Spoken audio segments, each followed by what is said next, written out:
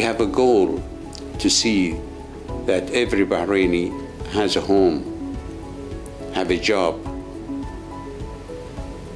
and we would not have poverty. Bahrain has made significant progress towards reaching the Millennium Development Goals through effective policies to address social, economic, and environmental challenges in, in a sustainable manner.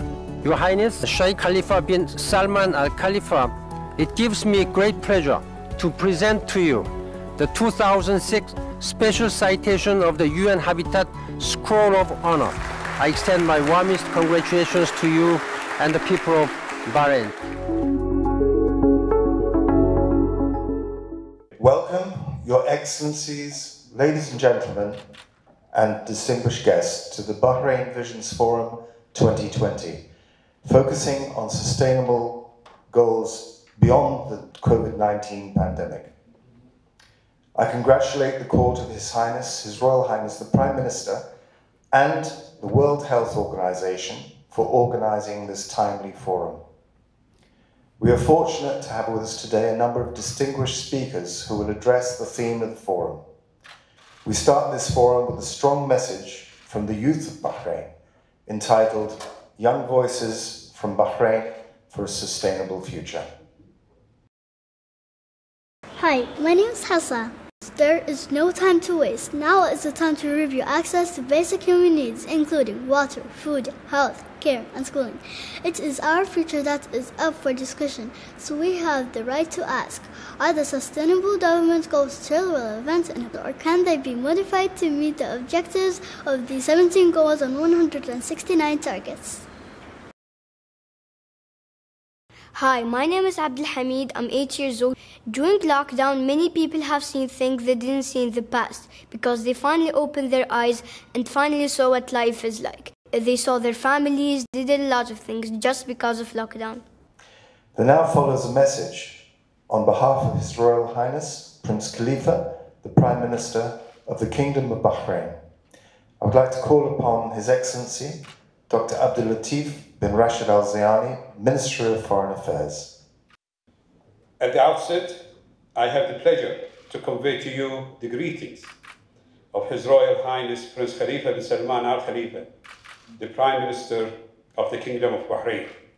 His Royal Highness has given me the honor of reading his message to the Bahrain Visions Forum 2020 to counter the impact of COVID-19 under and or any other pandemic.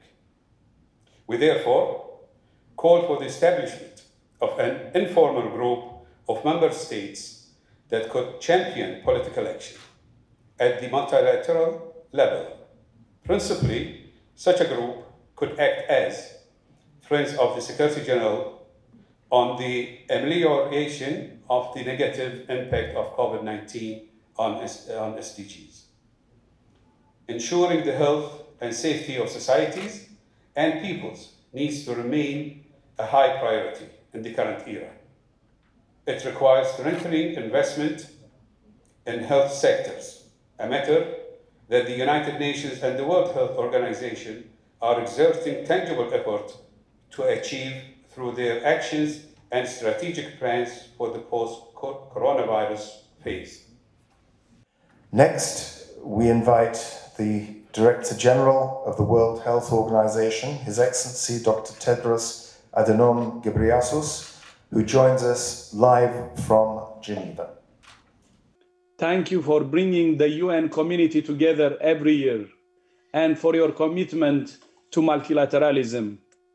And Your Royal Highness, we support your proposal to create a Friends of the Secretary General on the amelioration of the negative impact of COVID 19 on the SDGs, which you have just announced. And we will do everything to support you. Now we present a message from His Excellency, Mr. Antonio Guterres, who is Secretary General of the United Nations. The virus is a major setback to our common efforts. Poverty is rising for the first time in 30 years.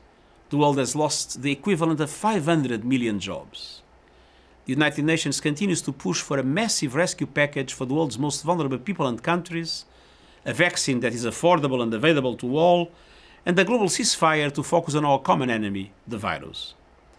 We must also address the inequalities and fragilities exposed by the pandemic. Recovered is an opportunity to reimagine the future, a future rooted in peace, sustainable development, and human rights. We can only get there together. We're now going to be joined live by Dr. Denis Mukwege, who is the Nobel Peace Laureate from 2018. The COVID pandemic uh, has almost inexorably upset our certainties and our modes of operation, reasoning, and life in several sectors. This pandemic br brutally snatched from our affection hundreds of thousands of lives of loved ones. We now welcome His Excellency Dr. Sheikh Abdullah bin Ahmed Al Khalifa, who is Under Secretary for the International Affairs at the Ministry of Foreign Affairs in the Kingdom of Bahrain, and he's also uh, Chairman of the Board of Directors of the Bahrain Center for Strategic International Energy Studies. I would like to thank the Court of His Royal Highness, the Prime Minister, for inviting me to speak before this forum. And my presentation today would be twofold. First, I'll speak about the partnership between the Kingdom of Bahrain and the United Nations. And secondly, I'll speak about some of the highlights of the partnership between Bahrain and the United Nations, and particularly the United Nations Development Programme, on the socio-economic impact of COVID-19. First, it's important to highlight that the relationship between the Kingdom of Bahrain and the United Nations has started even before Bahrain becoming a member of the United Nations. We have seen considerable development since the signing of the SPF. We have seen that there has been an increase in technical projects, both proposed and implemented, by 69%.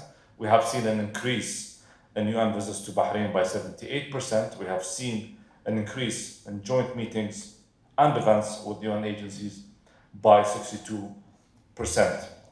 We now move on to statements made by eminent contributors to the forum, beginning with a video statement by Her Excellency Miss Audrey Azoulay, who's the Director General of UNESCO.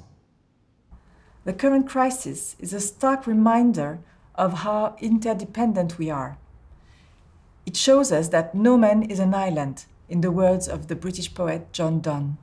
To address the consequences of the pandemic and rise to the other challenges of today and tomorrow, we need to use all of the resources at humanity's disposal.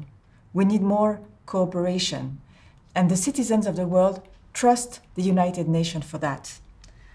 Next, I would like to introduce His Excellency Mr. Abdullah Shahid, who is the Minister of Foreign Affairs for the Maldives since 2018 and who has played a key role in the Maldives transition to democracy. Excellencies, 2020 has been a, has been a devastating year. And what makes it unique is that these difficulties have spared no corner of the world. What lies before us is not just an unprecedented health crisis posed by COVID-19. This health crisis has developed into an economic and social crisis, the impacts of which will linger for years to come. Excellencies, we are under no illusion. The difficulty in achieving 2030 agenda has been made more challenging due to COVID-19. As a small island state, we are vulnerable vulnerable to the impacts of climate change, vulnerable to external shocks, vulnerable to rising commodity prices, and vulnerable to the decline in tourism. Uh, I would like to now welcome Her Excellency Professor Anna Tibaijuka. The Bahrain Visions Forum started uh, uh, two years ago. This is the third session, and now focusing on the existential uh, problem of the time, COVID-19, and its impact on the implementation of the SDGs. I would like, the main thing that I would like to point out is that this is really a problem that has brought together humankind. In recorded history, at least over our times. I'm not aware of a problem that was able to galvanize the whole world to bring humanity together as we face this challenge in our respective countries. I'd like to now uh, invite Her Excellency Ms. Faika bin Saeed Al Saleh, who's the Ministry of Health in the Kingdom of Bahrain, who will talk about the Kingdom's efforts in overcoming the challenges of the current pandemic.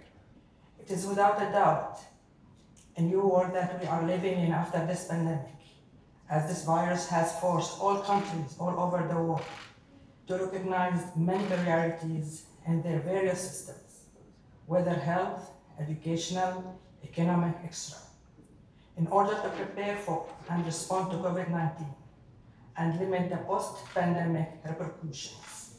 Next, we have a message from Dr. Mahmoud Mohyeldin, who is the UN Special Representative on Financing SDGs.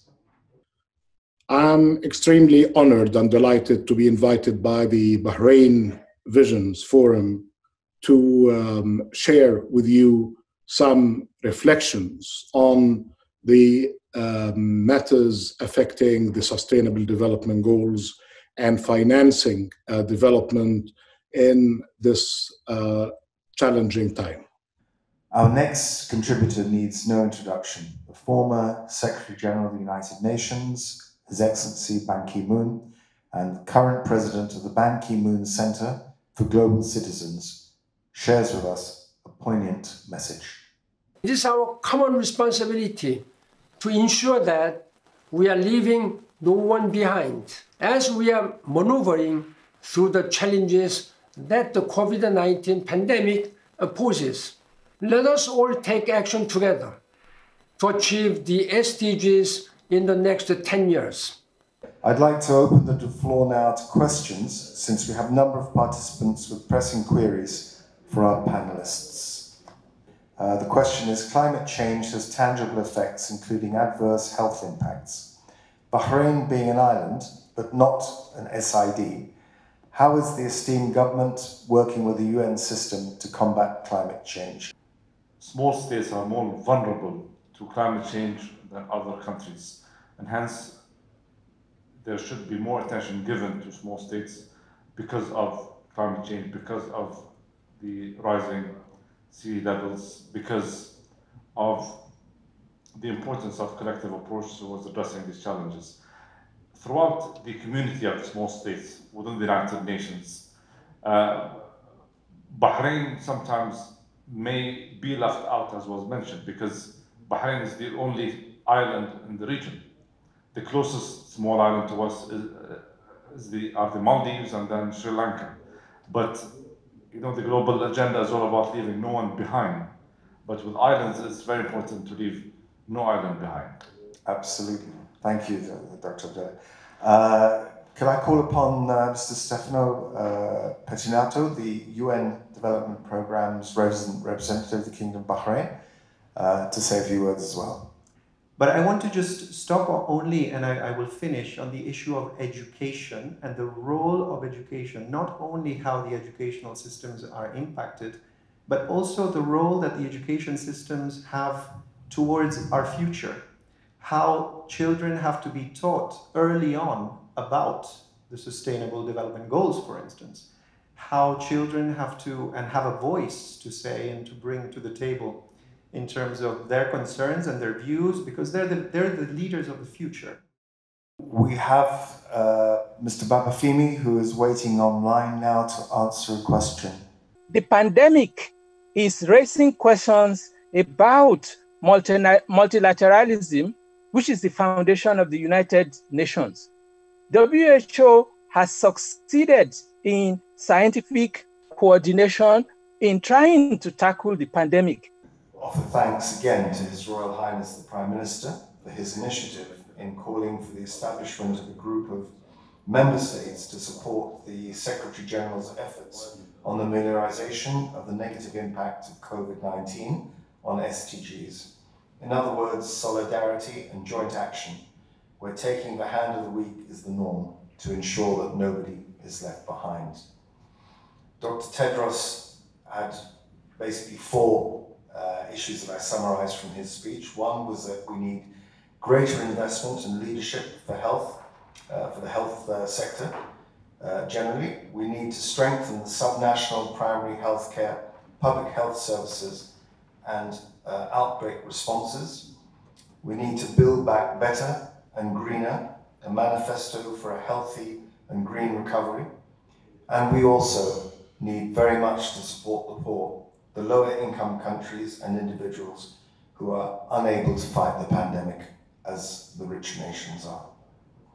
Today we learned from the Secretary General, Antonio Guterres, that there's 1 million deaths have been confirmed due to COVID-19 and 33 million people worldwide have been infected. Now these are just the figures we know about. There could be many more. It's an urgent requirement that we take the lessons learned in this seminar, webinar today and implement them. Thank you so much, one and all, for your participation and involvement in this important forum. Thank you.